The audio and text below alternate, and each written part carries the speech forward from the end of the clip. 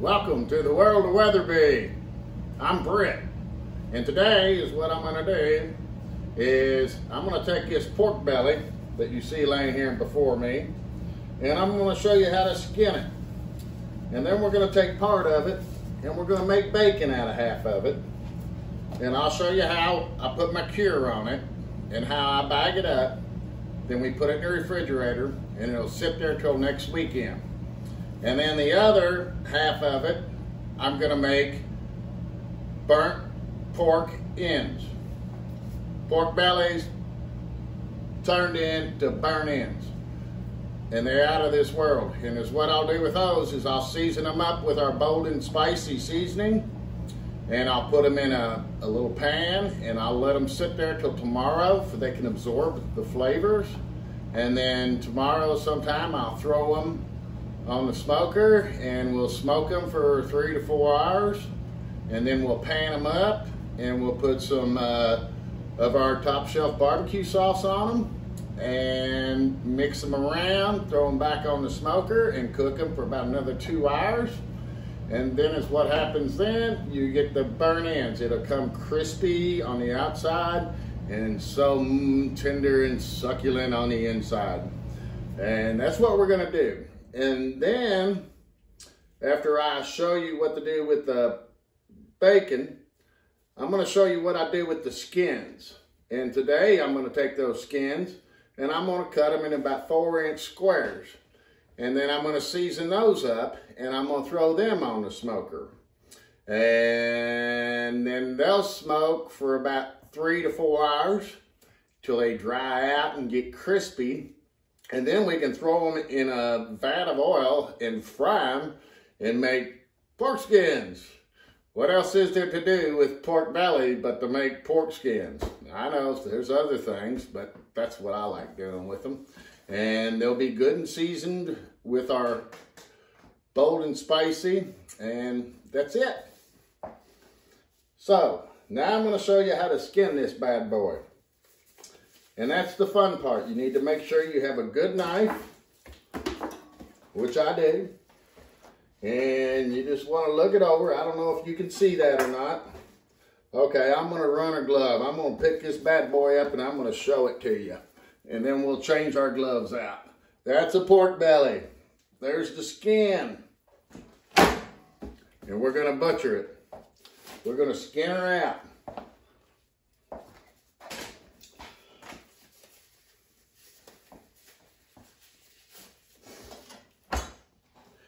What you want to do is you want to get that knife down there between the meat and the skin. And I kind of use it, do like I would an old fish, how I'd fillet it. And that way I can make sure I get all the meat. That skin is tough, and you'll know when you'll get down into it. I don't know why I do this stuff on the weekends, but I guess it's fun.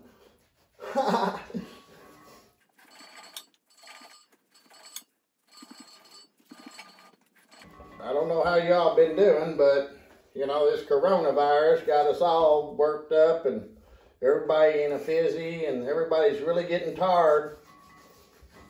I've been fortunate. I've been able to get out and uh, I have to work. Um, I guess I'm my job is considered essential, so they allow me to work. Ask me, this is more essential than any old work. We like our pork bellies. We like bacon. We made, basically, we fixed up, I'll show you later on, we fixed up, oh, about 50 pounds earlier in the day. I'll save this one just for you all. Trying to get all that meat off that skin. It can be tough. You see how I'm pulling it back. I'm angling that knife down towards the skin to try to get all the meat I can off that skin. And you pull it tight just like you did, well, a good old rope that's going to save your life. It makes it a little bit easier.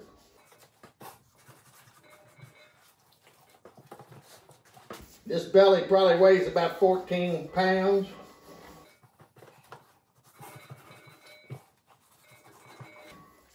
Sometimes I get to buy these things with no skin on them, but I got a really good deal on these things this week. So I'm dealing with the skin. I don't really, uh, you know, it's a lot easier if it's already done, of course. I know Costco sells uh, pork belly a lot. I'm not sure about Sam's because I don't go in that place much.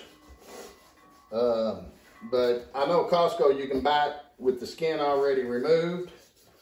And it's probably going to cost you a couple dollars a pound. I paid 55 cents a pound for this stuff. So that's some pretty darn cheap bacon. That's a deal that don't come around too often. But I'll take it every day.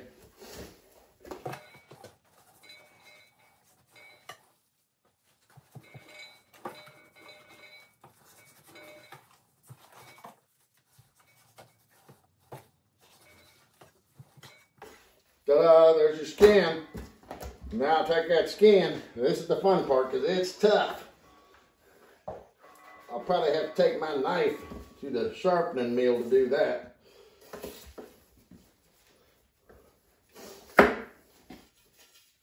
But as you can see, we took and we cut them up in little bite-sized pieces. Actually, they're about two bites. And we season them up with our bold and spicy. We're gonna let these sit overnight. We're gonna cover them up. We're gonna let them sit overnight. And tomorrow we're gonna put them on our smoker and we're gonna smoke them for three or four hours. And after that, we'll take and we'll pan them up in a large pan and we'll dump some barbecue sauce on them, Weatherby's top shelf. And we'll continue to cook them on the smoker or your grill. Or, you know, if you don't have any of these things, you can do this in your oven too. And then we'll leave them open. We won't wrap them. And is what happens is they get crunchy on the outside. And then they just explode with flavor once you do get into them. You know, take that succulent bite out of them. And we'll show you that tomorrow. Uh, but yeah, that's about it. Welcome to the world of Weatherby. Yesterday you saw us take our pork belly. We cut it in little squares. We seasoned it up with our bold and spicy.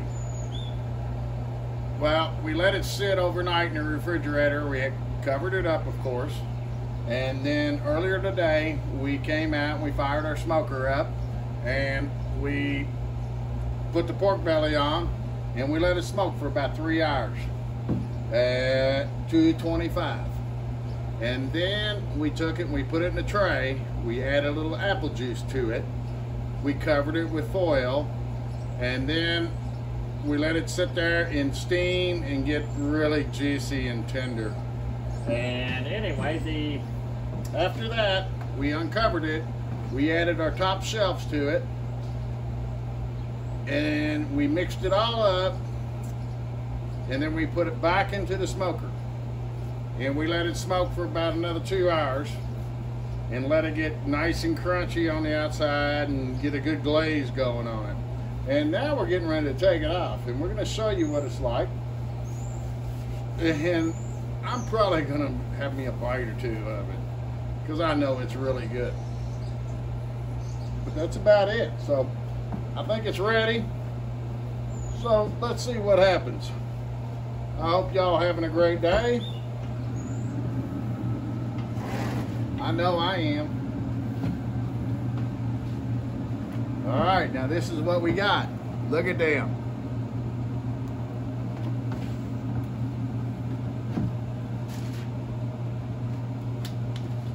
Tongs. Pork belly. Look at it. It just comes apart. Mmm. Oh, that rocks. That's how you do pork bellies, folks. That top shelf on top there. Mm, got that little bit of heat from that bold and spicy. It's out of this world. Mm. That, is cold beer. It's gonna go a long way tonight. Because it's better than finger licking good. I'm telling you. Wow. Amazing. Mm. Anyway, don't forget to share our Facebook page with your friends. We appreciate that. Stop in our webpage, weatherbyrubs.com. Don't forget to join, or subscribe, I should say, to our new YouTube channel. Share that with your friends. We're trying to spread the word because we know we got a good product. It's one of the best out there. Guarantee you, you will not be disappointed. Until next week, enjoy your world.